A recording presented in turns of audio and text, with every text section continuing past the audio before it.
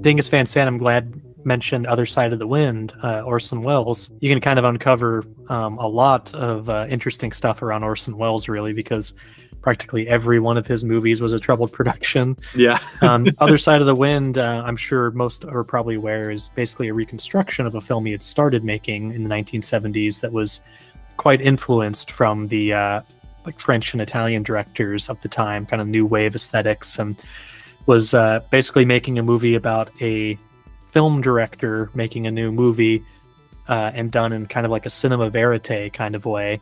We were kind of a fly on the wall at this party. Um, and John Huston plays the director, um, and uh, Peter Bogdanovich is in it as like a as a reporter, I want to say, or a writer or something. Um, and I forget uh, exactly, but yeah, somebody who's very close to the the main director, played by John Huston, and sort yeah. of like weirdly playing a version of himself. Bogdanovich is. Yeah, and um, the movie is. Uh, it also has a film within a film uh, that's kind of like, uh, sort of approximating like Antonioni style and doing like Orson Welles' version of an Antonioni movie, uh, which is quite interesting and bizarre. Um, I really, yeah, that's uh, it's uh, a good one, um, and I think I would also highly recommend um, if you watch Other Side of the Wind. I would really, uh, I would recommend pairing it with the documentary um, that was made around the same time, um, "They'll Love Me When I'm Dead."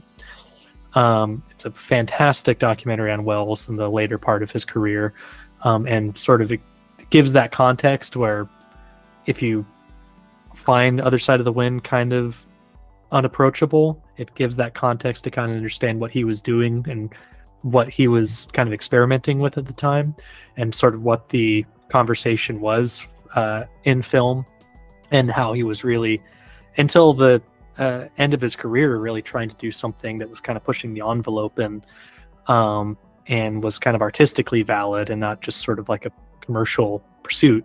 So it's a great, great celebration of Welles's work, and I think um, it uh, I, I, liked Other Side of the Wind before seeing The Love Me When I Did, but I think after seeing it, I, I really kind of appreciated what it was and the nature of it and uh, kind of how daring it was for the time.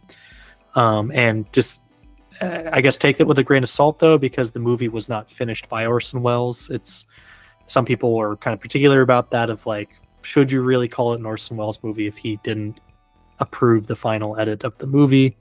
I'll let whoever you know your own feelings about that dictate whether you want to see the movie or not but i i really enjoyed it